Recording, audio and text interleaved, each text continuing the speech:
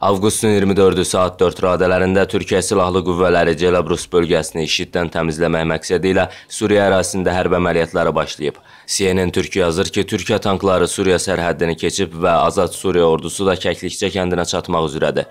Fırat Kalkan adlanan əməliyyat zamanı 63 hədəfə 224 atəş açıldığı bildirilir. Əməliyyatın məqsədi Celebrus bölgəsinin IŞİD yaraqlılarından təmizlənməsidir. Top atəşi ilə başlanan əməliyyata saat 6.08 radələrində F-16 qırıcı təyyarələri ilə hava qüvvələri də qatılıb.